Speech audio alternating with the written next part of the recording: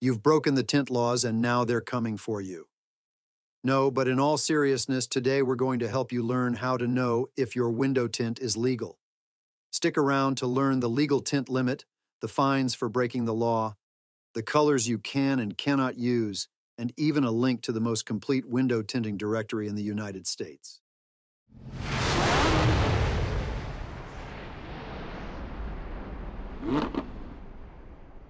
North Dakota's tinting laws, established in 2003, offer a detailed framework for vehicle window tinting, balancing safety and personal preferences. Let's explore these regulations in a more conversational manner.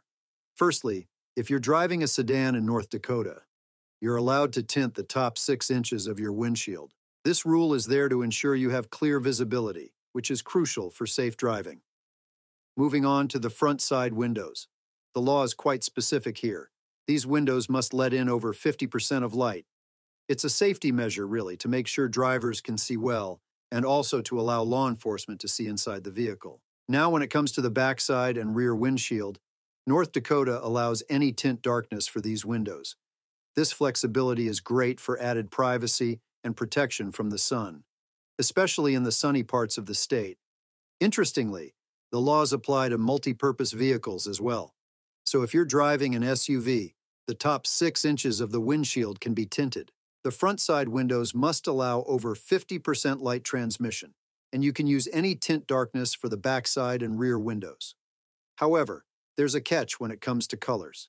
Tints in red, yellow, and amber are a no-go in North Dakota. The other colors are typically reserved for emergency and law enforcement vehicles, so it's important to steer clear of them. Now, if you don't follow these rules, you might end up with a fix-it ticket. The fines usually can be up to $40 for a first offense. But it's not just about the money. It's about adhering to regulations that ensure everyone's safety on the road. But here's something mm-hmm. interesting. North Dakota does consider medical needs. If you're looking to get a medical exemption, MyEyeRx can help assist you to acquire an exemption just over a simple Zoom call. You can find them in a link down below. If you have a condition that requires darker tints, you can get a medical exemption.